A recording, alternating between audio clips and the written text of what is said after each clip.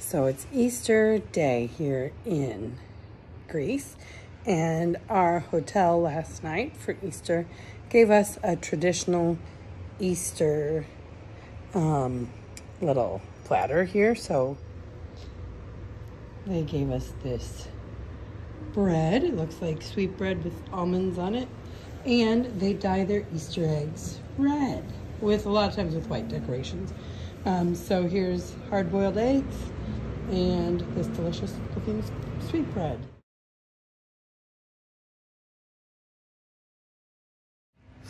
We've been very fortunate to be here in Greece during Holy Week before uh, Greek Orthodox Easter. So I showed in another video some of the Easter foods and um, one more thing that we picked up there they definitely do have um, you know chocolate easter eggs. Um, went to a chocolate store that had um, big chocolate eggs and with lots of little eggs around it. So we um, tried some of the different some of these different easter eggs made by uh, two different companies so they're chocolate, milk, or dark, and they're all filled with different fillings and a whole variety. Oh, there's also uh, white chocolate ones too, all with a variety of different fillings.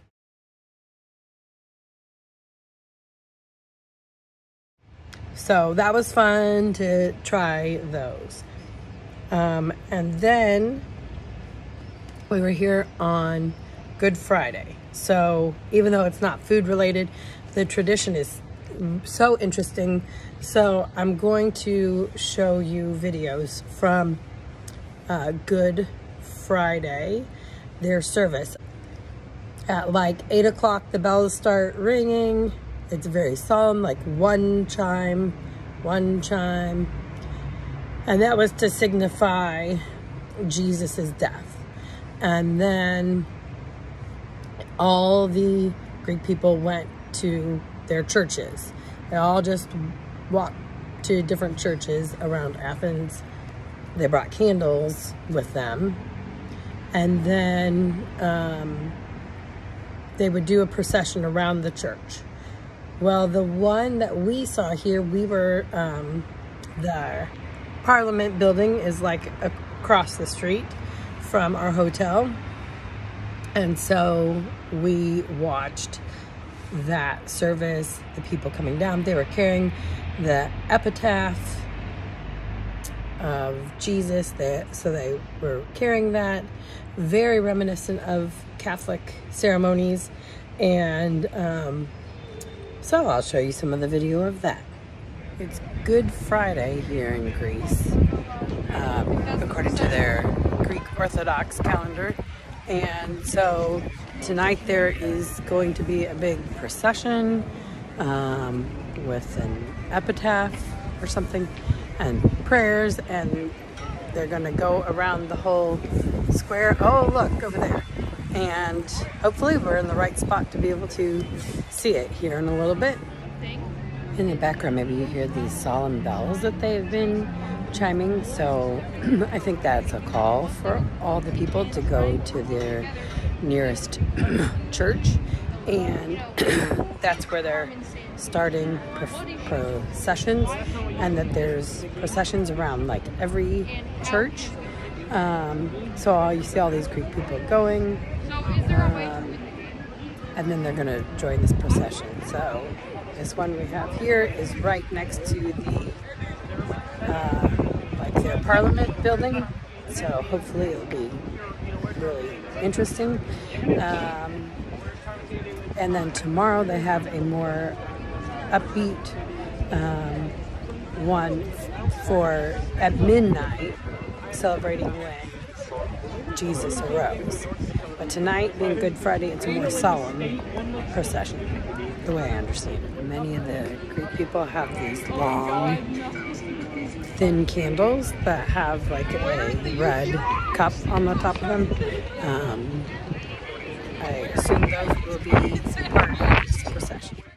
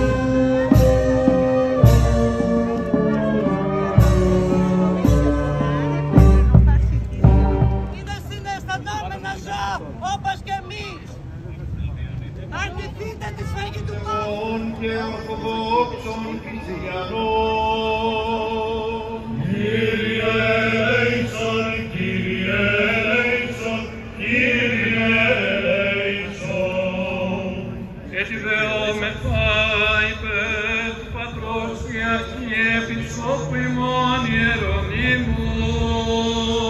Ιησούα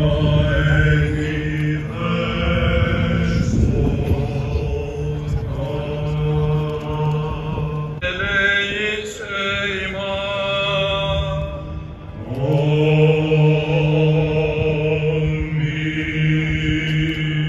Άκουσον ημών ο Θεός ο σωτήρ ημών η ελπίς πάντων των περάτων της γης και των εν θαλάσσι και αέρι μακρά και ήλαιος, ήλαιος γενού ημιν δέσποτα επί τες αμαρτίας ημών και ελεήσε ημάς.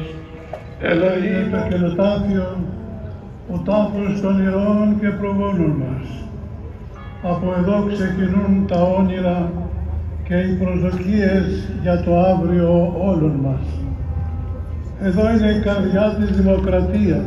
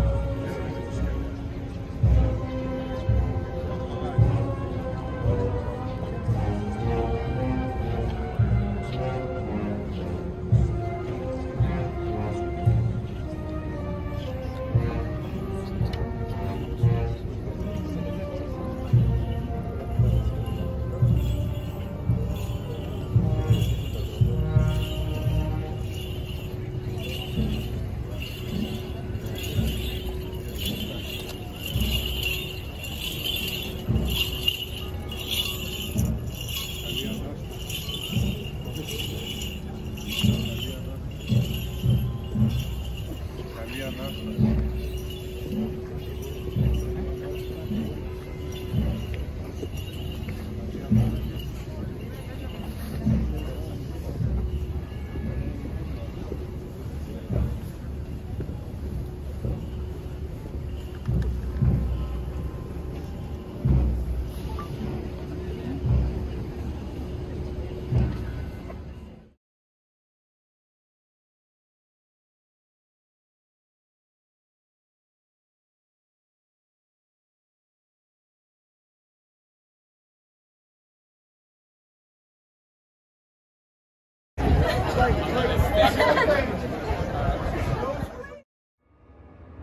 Oh my goodness, that was a really interesting experience. I love um, getting the opportunity to experience a different culture's um, celebration.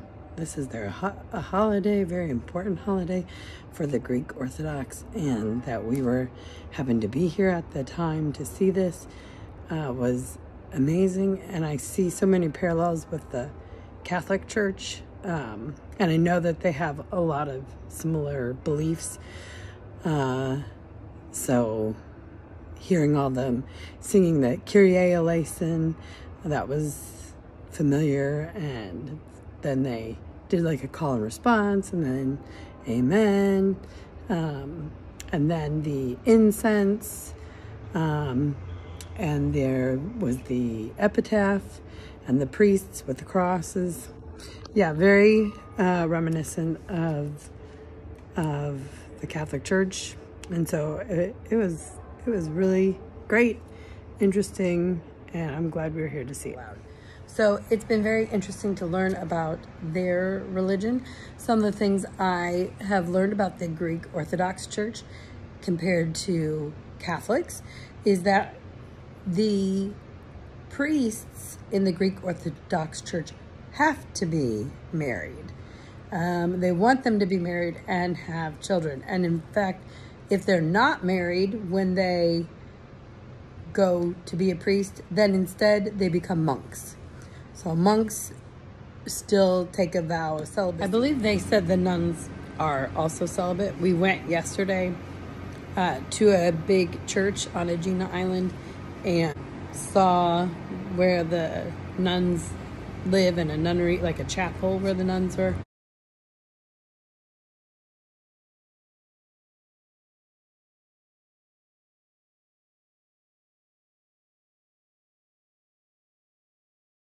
and then this huge church. Um, and it was a beautiful church.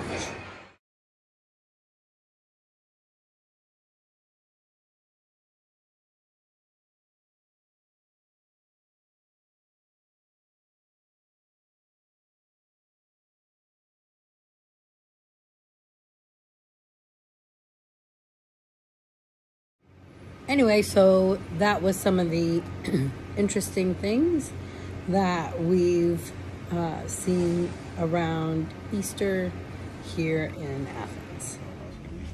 Kalo Pascha, Happy Easter in Greek.